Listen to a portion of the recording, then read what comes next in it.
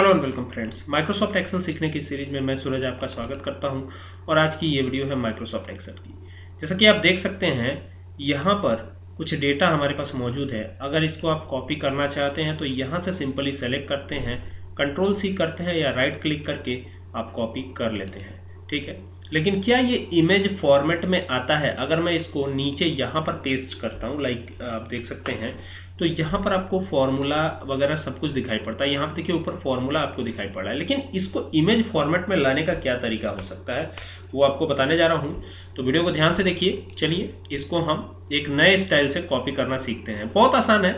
यहाँ पर इसको पूरा डेटा सेलेक्ट कर लीजिए, ठीक है? इसमें आपको कुछ भी नहीं दिखाई पड़ेगा। फॉर्मूला वगैरह कुछ नहीं दिखाई पड़ेगा। ये एक इमेज फॉर्मेट में कन्वर्ट हो जाएगा और इसको आप इमेज के तौर पर ही यूज़ भी कर सकेंगे। तो करना क्या है आपको? यहाँ पर आपको क्लिप बोर्ड के अंदर, देखिए फॉर्मेट पेंटर कॉपी कट और पेस्ट ये सारे बटन किसके अंदर होते हैं? क्लिप बोर्ड के अंतर्गत। ठीक है? तो हमें यहाँ पर कॉपी पे जाना है और ये जो एरो बनी हुई है, इस पर क्लिक करना है। और यहाँ पे लिखा हुआ है कॉपी एज अ पिक्चर बस इस पर क्लिक कर देना है और इसको ज्यो का त्यों रहने देना है बिटमैप नहीं करना है, पहला ही ऑप्शन पे। टिक रहने देना है और यहाँ से ओके कर देना है। तो ये अब कॉपी हो चुकी है। अगर हम इसको यहाँ पे पेस्ट करते हैं लाइक अब देखिए, इसको अगर मैं पेस्ट कर देता हूँ यहाँ से तो आप देखेंगे कि ये पेस्ट तो हो जाएगा, लेकिन ये एक इमेज फॉर्मेट में पेस्ट होगा। ठीक है? ये पूरा डेटा किस फॉर्मेट में पेस्ट होगा? इमेज फॉर्मेट में पेस्ट होगा।